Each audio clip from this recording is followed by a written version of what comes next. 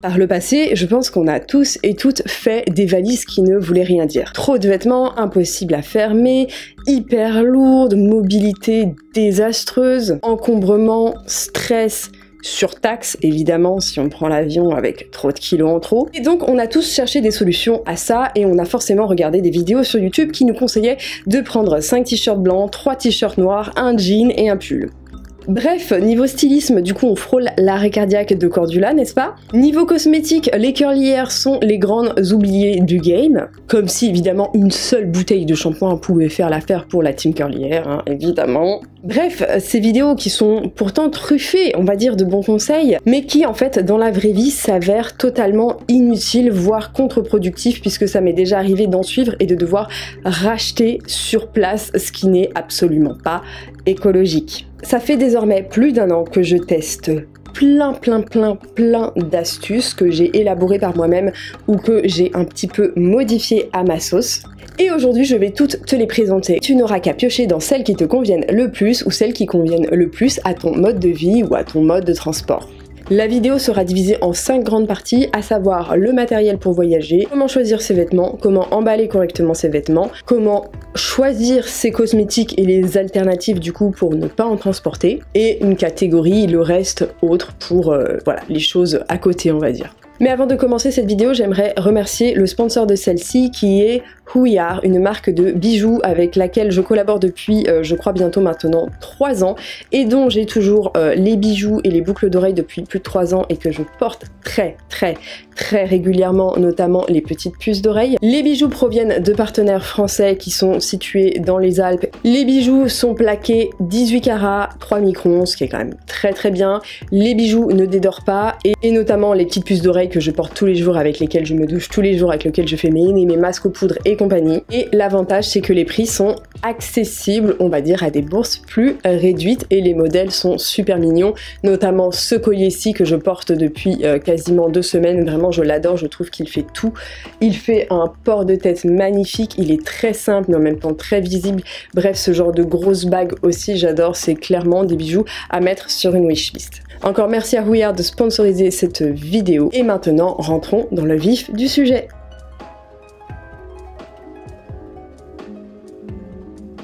Aujourd'hui Mireille, on met au placard les fameux au hein, qu'on connaît bien et qui font que nos valises sont surchargées. Et bienvenue dans une nouvelle façon de voyager léger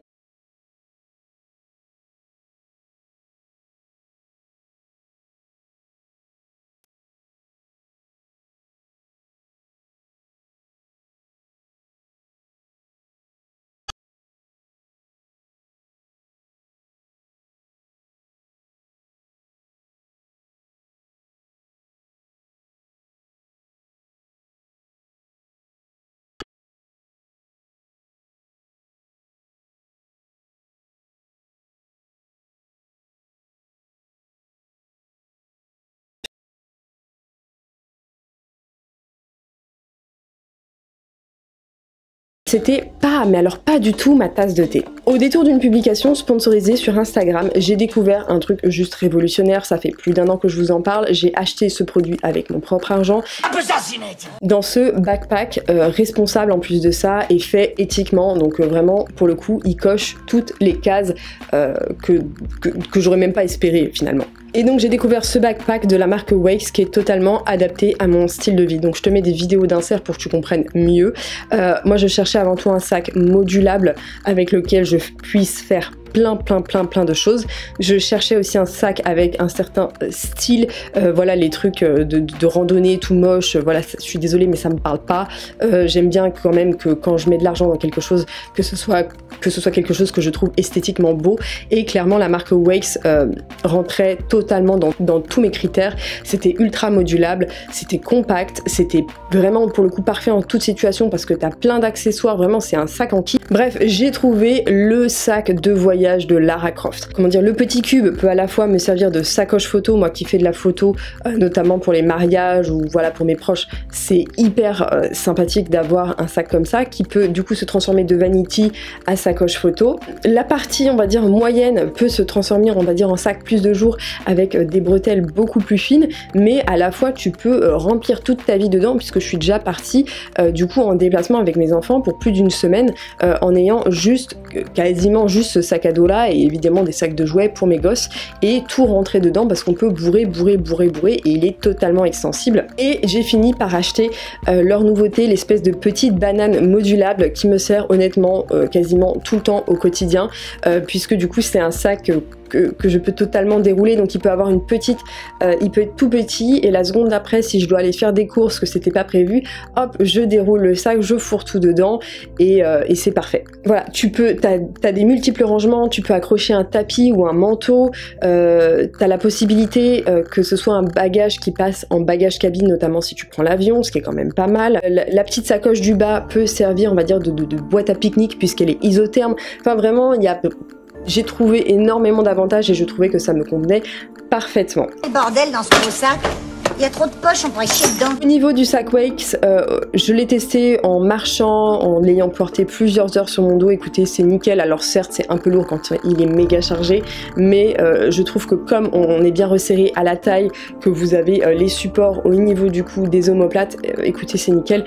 Le, sac est lourd. En fait, le sac est lourd quand vous l'enfilez sur le dos, mais une fois que vous l'avez sur le dos, le poids est tellement bien réparti et comme il est 100% réglable, aucun problème. Si jamais ça peut aider quelqu'un, je te mets le lien euh, du sac dans la barre d'infos. Et bref, c'est avec ce sac là que je vais partir en vacances. Second conseil, c'est de vérifier justement les dimensions autorisées par les compagnies aériennes pour les bagages cabine, car malheureusement beaucoup de compagnies aériennes ont changé leurs dimensions et donc forcément le backpack que je viens de vous présenter, euh, vous disant que ça, peut passer en cabine, certes, mais c'est pas toutes les compagnies aériennes, donc ça c'est vraiment quelque chose que vous devez checker, car euh, beaucoup de compagnies aériennes ont changé justement leur ont changé justement leur dimension. Un sac à dos, ça peut ne pas passer à la sécurité, donc faites bien attention. Et également le poids autorisé du 10 sacs, parce que ça aussi, ça peut causer des problèmes. Maintenant, on va rentrer dans la catégorie vêtements. Le premier conseil, c'est clairement un conseil bidon, mais ça va être de regarder la météo. En effet, euh, quoi de plus désagréable de prendre des vêtements euh, trop froids alors qu'il fait trop chaud? Donc évidemment, on va prévoir une garde-robe adaptée à la météo euh, dans l'endroit où nous allons aller. Cependant, je vous conseillerais tout de même de prévoir une tenue ou un accessoire qui fait que vous pourrez euh, vous réchauffer, vous euh, rafraîchir.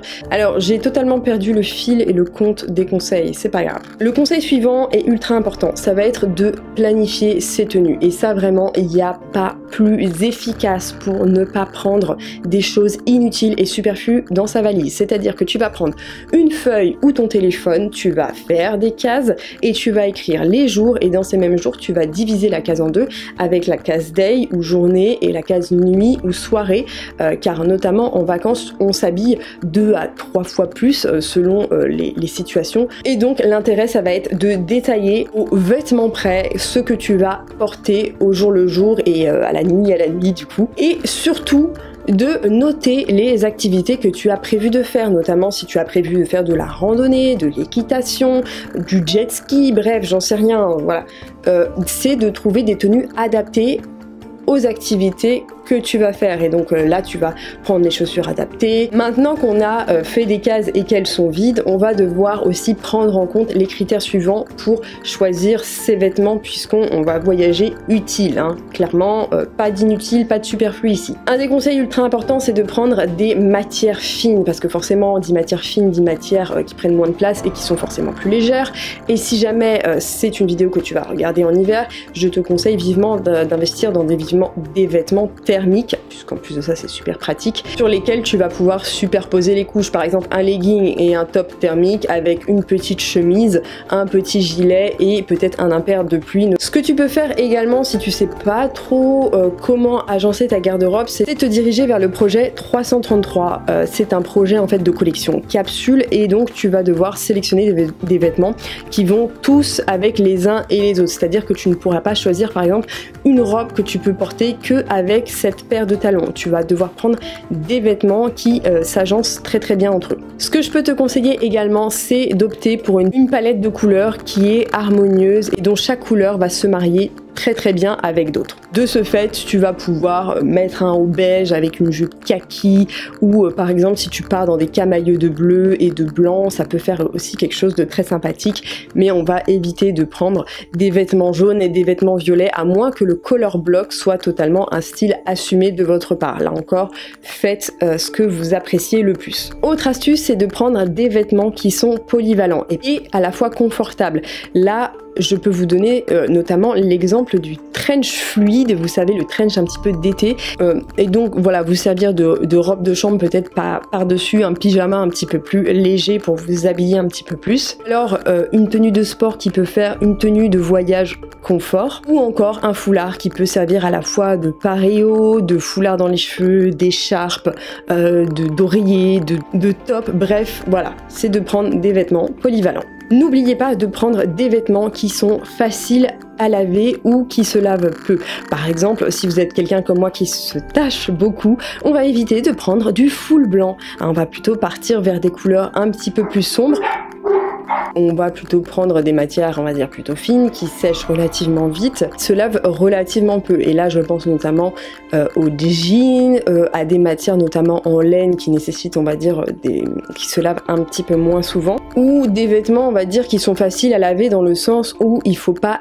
des soins extrêmement complexes pour les laver et j'en viens du coup au conseil suivant, ces vêtements qu'on pourra laver notamment avec les fameux gels douche ou les, fameux savons euh, qu'on va retrouver dans les chambres d'hôtel qui ont parfois une composition euh, euh, quitte à utiliser des produits qui sont jetés, autant les utiliser pour laver son linge. Autre astuce va consister à prendre des vêtements qui ne se repassent pas ou très très peu, évidemment tout simplement pour éviter cette espèce de manutention qu'on pourrait avoir, puisqu'il n'y a rien de plus désagréable de sortir des vêtements qu'on aura gentiment pliés dans notre valise ou dans notre sac à dos, les voir ressortir totalement froissés et euh, ne rien pouvoir y faire. Donc euh, là, j'entends notamment ne prenez pas de lin, hein, puisque le lin froisse très facilement, même s'il est coupé avec du coton ou de la viscose. C'est une matière qui se froisse extrêmement facilement. Ou alors la fameuse chemise en coton euh, qu'on va mettre dans un coin dans la valise, qu'on va tasser, qui va ressortir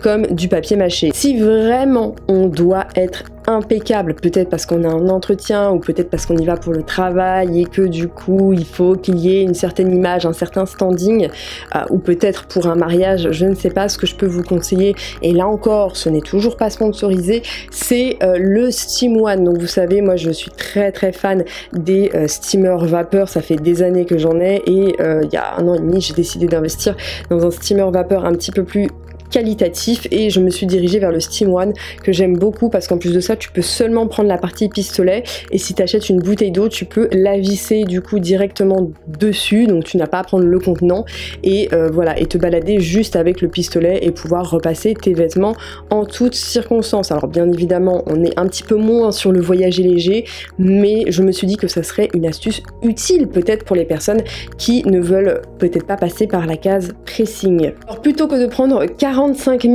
vêtements différents, on va peut-être miser un petit peu plus sur les accessoires. Et oui, les accessoires justement, notamment comme les boucles d'oreilles Huillard, ce sont des accessoires qui prennent relativement peu de place dans une valise, qui sont légers à transporter, qui peuvent se caler dans un petit recoin notamment du Vanity Wakes et donc complètement changer votre look. Par exemple, vous pourrez mettre des grosses boucles d'oreilles ou alors peut-être mettre un glisser un tout petit foulard pour faire un look un petit peu plus bohème. Autre astuce ça va être de prendre des vêtements qui peuvent euh, se superposer. Et soit par exemple pour gagner de la place du coup dans tes valises, soit peut-être pour avoir euh, plus chaud, notamment si la météo est trop fraîche. Et par là, je pense notamment à l'astuce du fameux legging de sport sous un jean qui va venir complètement réchauffer et garder la chaleur. Et peut-être le petit euh, débardeur thermique qu'on mettrait en dessous, par-dessus une chemise, par-dessus un gilet et du coup le fameux cardigan. Ainsi du coup on salirait peut-être la chemise, le débardeur on pourrait peut-être le remettre un jour ou deux en fonction de notre transpiration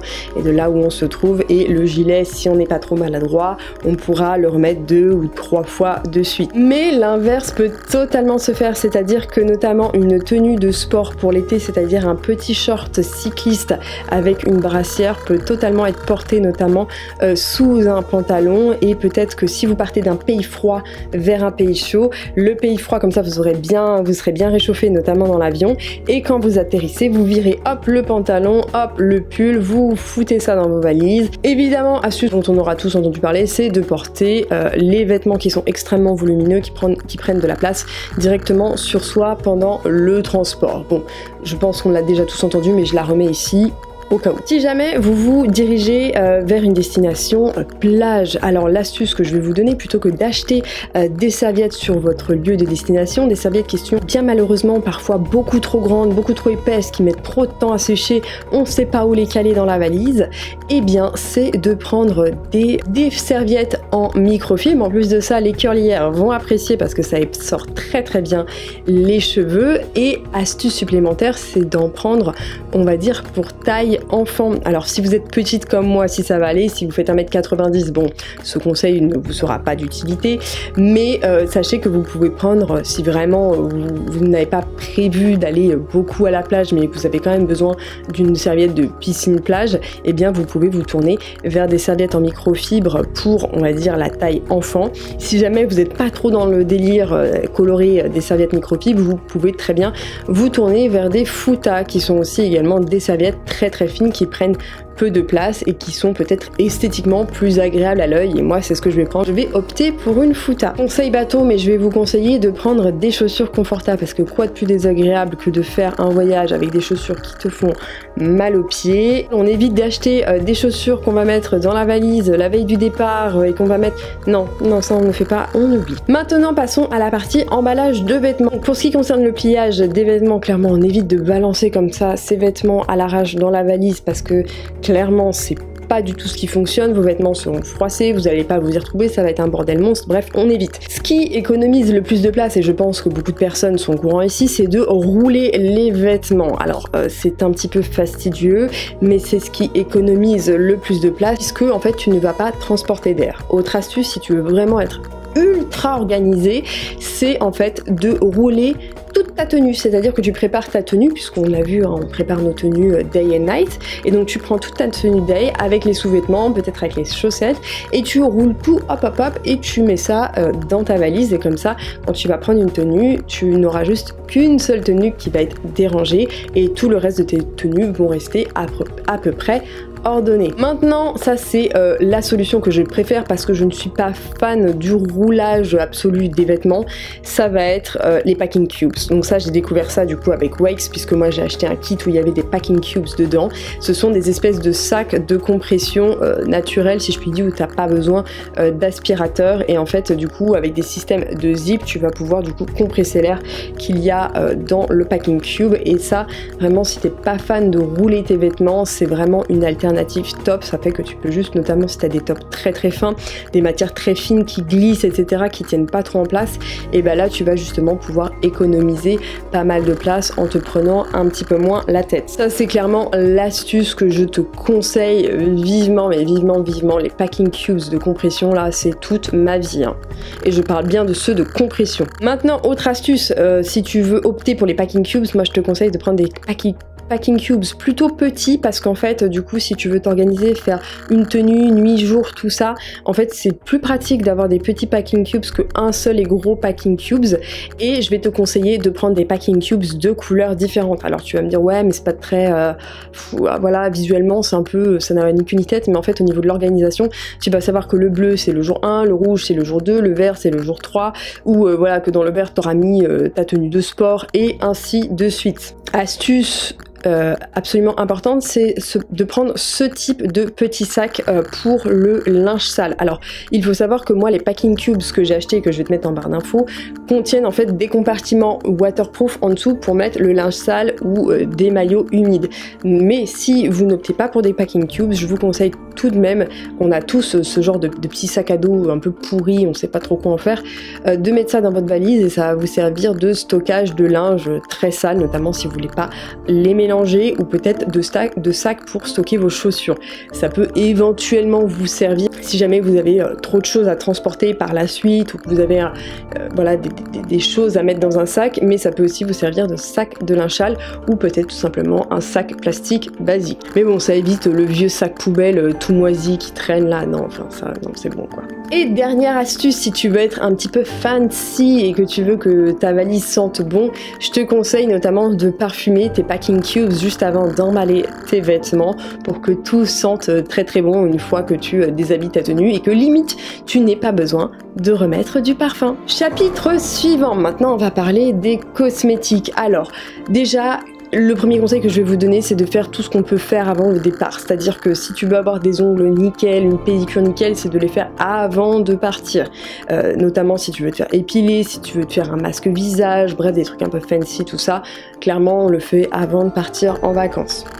Ce que tu peux faire si vraiment t'es une flemmarde et que t'as peut-être un budget euh, illimité, c'est d'acheter tes cosmétiques sur place. Et euh, ça, Mireille App va pas grandement t'aider, ça va te permettre de savoir ce qu'il y a dans tes cosmétiques, de scanner, de voilà, de trouver des cosmétiques clean adaptés à ta consommation. Bon, évidemment, si on n'a pas un budget illimité, ça va être de mettre dans des petits contenants en plastique. Alors, évidemment, euh, pourquoi en plastique? Parce que c'est plus léger et c'est moins susceptible de casser. Mais euh, l'astuce un petit peu plus écologique, ça va être de réutiliser les petits contenants euh, qu'on peut avoir reçus au fur et à mesure du temps ou alors avoir terminé et c'est toujours intéressant de garder comme ça quelques petits contenants parce que ça peut notamment servir pour ce type de voyage. Et comme ça, euh, on a une économie un petit peu plus circulaire. Alors l'astuce vraiment que je vous j'insisterai vraiment hein, plutôt que de transvaser comme ça vos cosmétiques. Alors je sais il y a des cosmétiques pour lesquels c'est absolument euh, on ne peut pas faire autrement.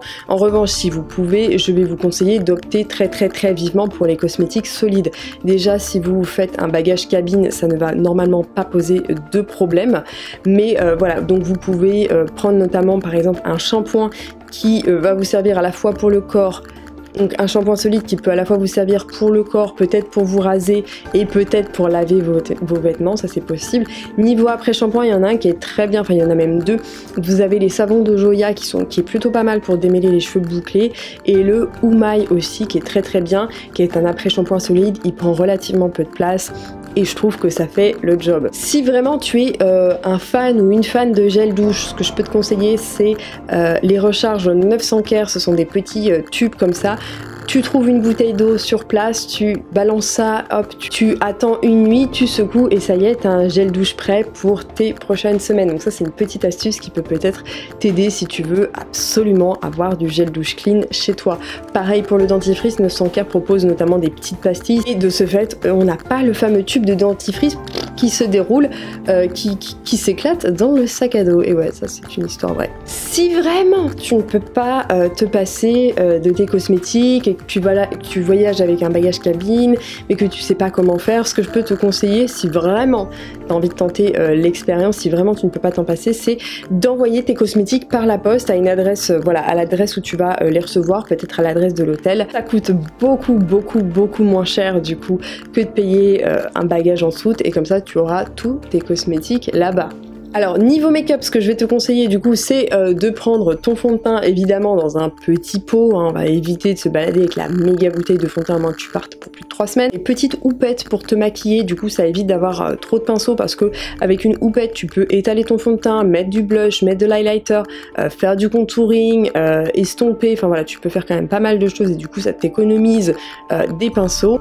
Aussi d'opter peut-être pour des textures qui se travaillent au doigt. Par exemple, moi je sais qu'en vacances je ne mets pas de fond de teint donc je vais partir plutôt sur un blush crème, un highlighter crème et euh, et pas, et pas d'ombre à paupières, on s'en fout. Enfin bref, un truc avec mon, mon blush et puis basta et un mascara quoi. Je vais pas trop me prendre la tête. Si vraiment tu veux prendre euh, une palette de make-up, choisis-la très bien et prends des pinceaux qui sont plutôt à double embout, c'est-à-dire euh, quitte à prendre un pinceau et à porter un manche, autant qu'il y ait un pinceau de chaque côté. Hein. et ne te charge pas en 15 000 pinceaux. Ce que je te conseille, c'est qu'avec le fameux gel douche cracra d'hôtel, c'est que tu prennes tes pinceaux à la fin de ton make-up, tu les savonnes, tu les essors, tu passes un coup de sèche-cheveux puisque souvent il y a des sèche-cheveux dans les chambres d'hôtel et basta et c'est prêt pour le lendemain.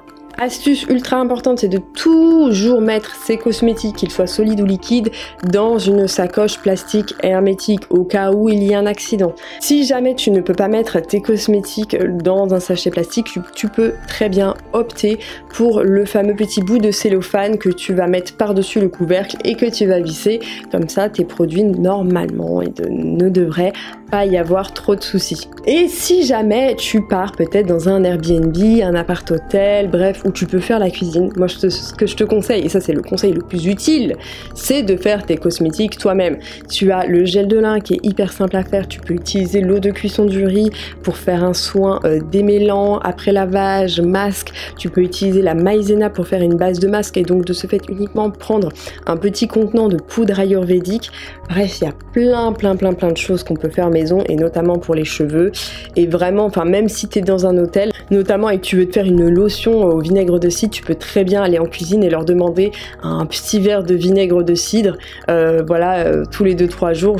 bon, je pense qu'ils vont te regarder un peu avec une tête en mode euh, pourquoi un peu du vinaigre de cidre, mais c'est pas très grave. Maintenant, passons à la catégorie autre. Alors, Déjà, un truc vraiment qu'il faut absolument que vous ayez, c'est euh, le multichargeur. Quoi de pire que de se balader avec 450 chargeurs, surtout euh, c'est mon cas puisque j'ai une montre connectée, j'ai le Mac, j'ai euh, mon téléphone, j'ai les chargeurs pour les batteries, j'ai le chargeur pour, ce type de panneau lumineux qui me sert de, de ring light si j'ai besoin de filmer en déplacement. Bref, quoi de plus relou que d'avoir 150 000 prises murales, autant investir dans ce type de chargeur là, ce qui fait que tu vas pouvoir tout charger au même endroit et tu ne vas pas oublier ton chargeur dans une autre pièce. Ça, c'est du vécu. Oublier son chargeur, était là en mode Oh non Parce que je pensais avoir pris le bon truc, mais en fait, que la prise c'est une USB-C que c'est pas une USB classique. Enfin, voilà. Ça, ce type de chargeur, ça coûte cher, mais l'investissement euh, en vaut. Parce que je vous en ai parlé deux secondes avant, c'est d'avoir des batteries externes chargées à bloc le jour de départ. On sait jamais ce qui peut se passer.